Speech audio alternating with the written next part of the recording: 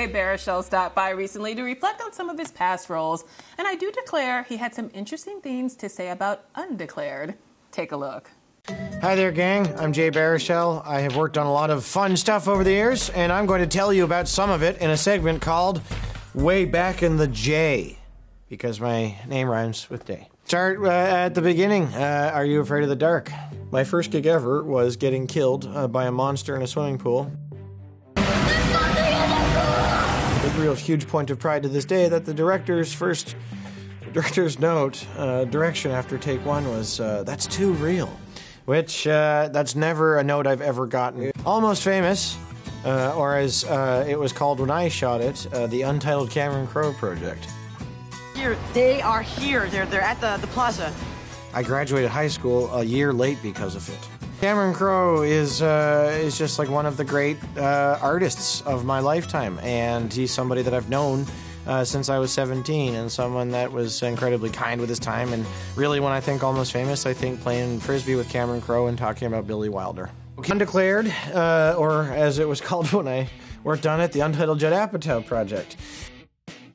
And handsome, and, and I've gained weight. We were um, snobby stewards of comedy. Uh, we, we, we all believed that we were making the best show on television. But I remember the yeah big big battle to fight was uh, that we had no laugh track, and so Fox didn't really understand how this could be a comedy and how people would know that there were jokes if there was no laugh track. You have to remember this is 2000 2001. Um, but I posit that uh, we we broke ground, and that uh, the the sense of humor that is on display and undeclared um, is what would become the industry standard in comedy about 10 years after. Uh, knocked up, um, yeah, uh, that was uh, making a movie with a bunch of guys I've known for a long time. What do you look like? I shouldn't have gone in there. Don't go in there. Promise me you don't go in there. Proud that uh, Seth got to be the lead in something. Um, there he hadn't before that, and uh, and someone who I've known since we were 18. So super proud of him, and um, and yeah, I uh, that's a movie that means a lot more to people than I think a lot of us thought it might. How to Train a Dragon. I stumbled ass backwards into uh, yeah, as important a role as I've ever played. Ever seen that? Bud, we're gonna take this nice and slow. I, I auditioned, and I don't ever remember getting the gig. I just like auditioned and then started recording more, and then they started paying me. And um, it's not every day that you're part of something that is like people's favorite movie, you know, or um, and if you think about when you're a little kid and you like something, you like it like it, and there's and you and nothing in your adult life will you like as much as you liked it when you were a child. And the stuff you like when you're a child will steer you on to the kind of grown up you become. Tropic Thunder, holy Moses! I got to, to, to work with and, and then just be privy to the uh, comedic genius of uh, Jack Black and Ben Stiller and Robert Downey Jr. on that horn and get some firepower, boy!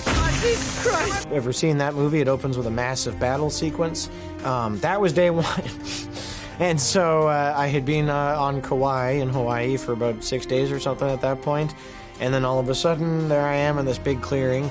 We have uh, 50 stunt performers, another 50 background performers, about two dozen cast, uh, two Huey helicopters, actual practical Hueys doing flyovers, and um, and yeah, it's if you don't get psyched up during that, uh, you should check your pulse. And what was super cool was the uh, crappy last Indiana Jones movie we were shooting on uh, Oahu, and they had half as many stunt guys as we did. So uh, that was a that was a point of pride on our set.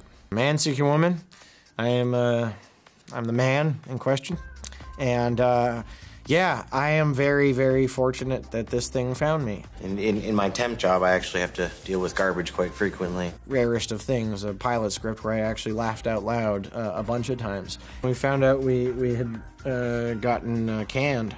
I'll, I'll, I'll quote Simon Rich, our, uh, our creator, and he said, listen, I'd rather be the Smiths than the Rolling Stones any day. And, uh, and so I, we, we think we gave the world three great records uh, with not a skippable track on any of them.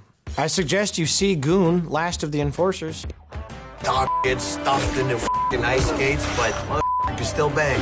I've wanted to be a director since I was nine years old, and that's three years before my first day on set as an actor at 12. And even when I started at 12, mom said, you know, you want to go to film school? Well, being on set's the best film school in the world. When this thing found its way into my lap, you know, we were always going to make this movie, and I was always going to write it with my writing partner, Jesse, but, um, yeah, circumstances kind of threw me into the into the driver's seat, and uh, I leapt at the chance. And uh, single greatest experience of my life. I don't know that it's for everyone, but uh, we made a, a movie that we all think is super wicked. I've never been a captain before. I hope one day I could be the captain of your dreams. In theaters now and on demand.